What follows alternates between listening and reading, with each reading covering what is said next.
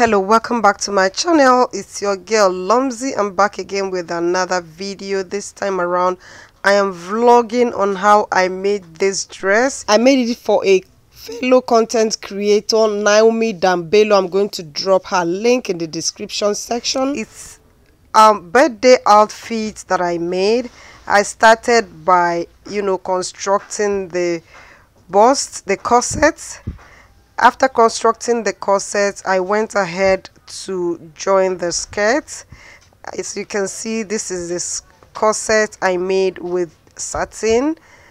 I made it with um, silver satin. I have already prepared the corset. I have a video on how I make my corsets you go ahead and learn how to do that. This corset has a yoke. I used um, skin mesh to do the yoke. So now i am making the skirt. I am making it with a free hand.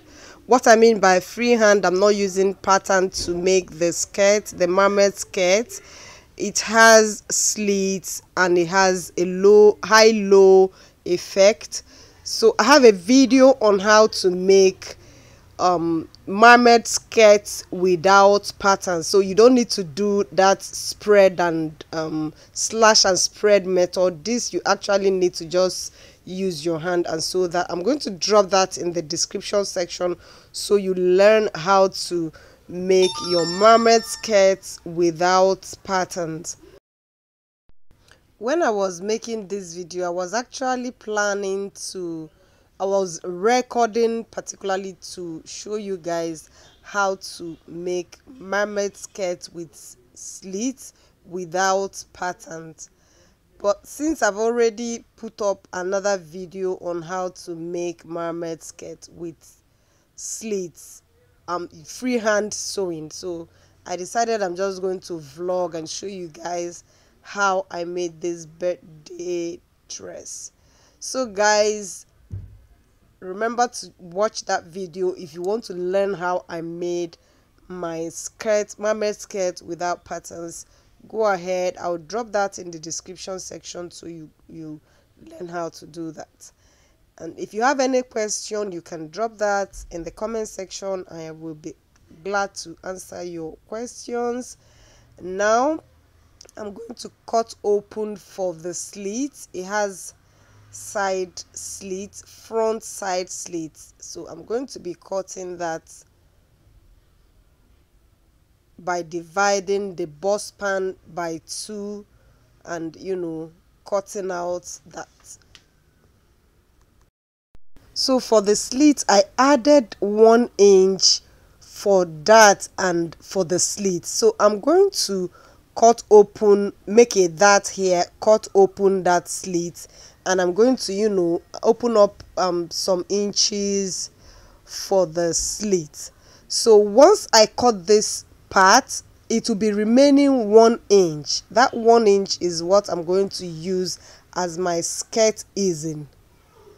If you watch the video the full video on how to make mermaid skirt without pattern you will understand what I mean. So I will cut off this line this um dart here and cut open the side slit on one side and then the remaining side on the other side i hope i'm making sense on the other side the remaining one inch after um, taking in the dart the remaining would be for the hip easing.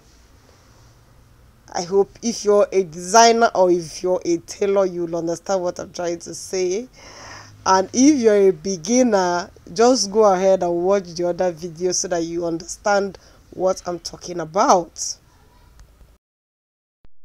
So i'll go ahead to cut out the side slits.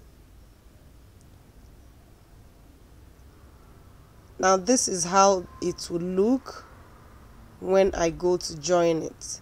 Once i'm done with this i'm going to go to the back for the back i made a high low flare that would give you that um fish tail. That um tail you know mermaid skirt with tail. So i'm going to use the knee length the knee circumference and construct a radius and then I get the length so the radius I'm going to use is from the circumference of the flare then to know the length of the um, the skirt I will drop this and measure from the knee down to the hemline. And this is going to be the um, the length I'm using for the side of the skirt. I hope you understand what I mean. So for me to make the flare I folded this fabric in two and then I'm going to take round like this to make the high low. So now I am making the radius. Once I'm done I will get the length of the skirt and I'm going to add 10 inches or so. It depends on how high you want your um, high low to be. Next is to cut out the lace using the pattern that I have cut out with the satin so after joining it joining it to the corset this is how it's looking.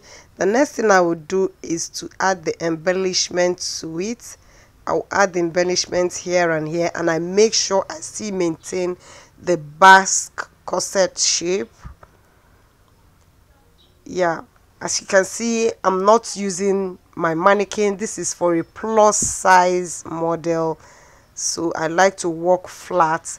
So i go ahead and start placing my embellishments. I've cut out this. I have a video on how to cut out embellishment out of a fabric which is always better to use. So i'm going to place this and you know just keep working on it until i get the desired design i want so with this i've come to the end of today's vlog. Don't forget to subscribe and hit the notification bell icon so that you'll be able to you know follow my sewing tutorials and my vlogs. See you on my next video. Bye bye